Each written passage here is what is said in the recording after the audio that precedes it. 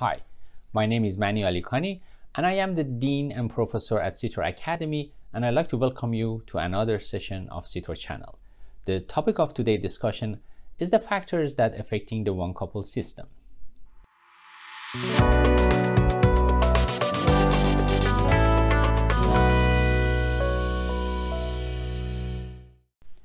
Let's start with the example that we uh, went through it last time, the size of the bracket.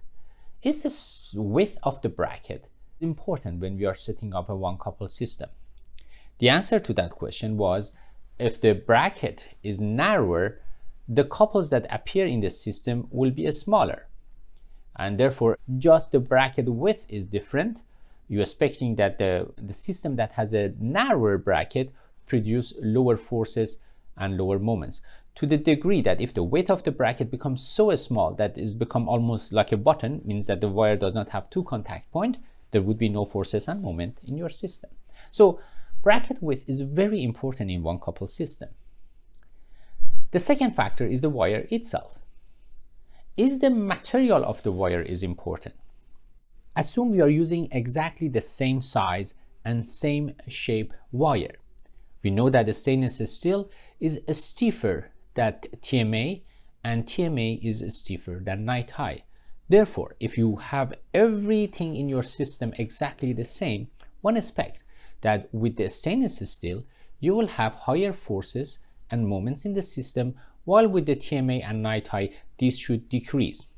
Again, next time when we are setting a one couple system, uh, we should select the material properly to the magnitude of the forces and moments that appear in our system would be biologically uh, reasonable. How about the size of the wire? Assuming the shape of the wire is the same, we know that as we increasing the size of the wire, the stiffness of the wire increases. Therefore, one couple system that has a larger size wire would produce uh, larger forces and larger moments. How about the effect of the shape of the wire? Does that make any difference if you are using round or rectangular wire? Well, the answer to this question depends on the dimension that you are setting your one couple system. In the first order view or occlusal view, in another word, uh, the shape, round or rectangular, does not affect the one couple system. Only if you're assuming that both of them have the same stiffness, means that the wire stiffness is not a variable. In that case, the shape of the wire is irrelevant. Can produce the same one couple system whether you are using round wire or rectangular wire. The same thing with the sagittal view or second order view. In that system also doesn't matter whether you are using round or rectangular, as long as you're controlling the stiffness of the wire to be the same, you're expecting the same result to appear. How about third order view? To make the example more uh, challenging, let's put a bracket on the anterior teeth and the button on the, on the canine. And I'm putting a round wire between the bracket in the front and button on the canine. Do you think there would be a one couple system? Of course, the answer is no. Why? Because the round wire does not produce any couple inside the bracket in the third order view. Only a rectangular wire can produce couple in the third order view. Therefore, uh, in the left side of the screen, if you put a round wire, there would be no one couple system. The wire just stand passively between the anterior teeth and the canine. On the other hand, assume you have a, a good size rectangular wire to bring the wire up to connected to the button on the canine, you producing a couple on the front and therefore a one couple system appears in your system. Therefore, the shape of the wire is important in the third order view not in the first and second order view. Let's make the example now a little bit reverse. What happens if you put the bracket in instead of front teeth? We put it in the back teeth. In this setup, uh, in the left side, you have a molar and the incisors, and in incisors we put a button, and we use a round wire from the molar to the button in the incisors. Do you have a one couple system? Yes, the answer is yes, I have a one couple system because the molar can produce a couple on the wire and therefore a one couple system exists. Vertical forces appears, a moment appears on the molar. What happens if I use a rectangular wire?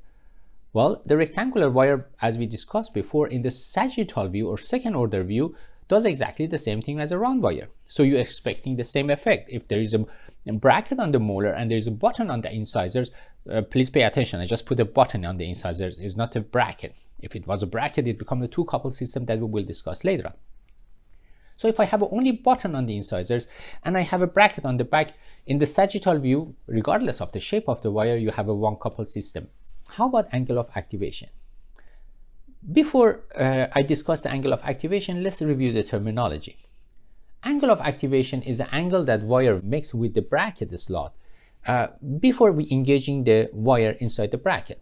Therefore, if you activate the wire way more, it means that the wire is making a larger angle with the bracket before engagement. The angle of activation is more. And this is very different from angle of engagement. Angle of engagement is the angle that wire and bracket can make with each other when the wire is engaged in the bracket. Depends on the size of the wire and the size of the slot of the bracket, that angle has a maximum amount. More than that, you cannot increase because physically it's impossible. So angle of activation can be different, but angle of engagement has a limit. Angle of activation depends on the activations that you have. It can increase from 0 to 90 degrees. Uh, but angle of engagement is limited. In orthodontics, the most important part is angle of activation. What happens if before I engaging the wire inside the bracket, I increase the angle of activation? Do you think the couple increases or decreases? Yes, you are right. The, actually, the amount of the vertical forces on the bracket increases if angle of activation increases. So if you look at the left side of the screen, uh, because the angle of activation is less than the uh, right side of the screen, the couple and forces that appear in your system would be less. The other factors that I wanted to talk about is the distance between the bracket. Would it make any difference if you have one couple system between two bracket or one bracket and button that are far than one bracket and button that are closer to each other? Let's look at this example. If you look at the uh, left side of the screen, the distance between the bracket and the, um, and the button is smaller than the right side. As you can see, as soon as you bring the teeth closer, the angle of activation increases. Therefore, it makes sense that uh, the forces and moments when they are closer, uh, the brackets and the button would be more than when they are farther away. Now, what happens if I increase the distance between the bracket and button while keeping the same angle of activation? Yes, if you remember from the definition of the couple is force time distance. If you are increasing the distance, then therefore your forces drops. So as you are increasing the distance between your bracket and the button, as long as you are not changing the angle of activation, still your forces and moment decreases just because the amount of the distance in your system increases. Thank you for uh, listening to another session of CTOR channel. Um, the topic for the next discussion is how to set up a one couple system. Please don't forget to subscribe and press the like button uh, if you enjoy these sessions. Thank you again.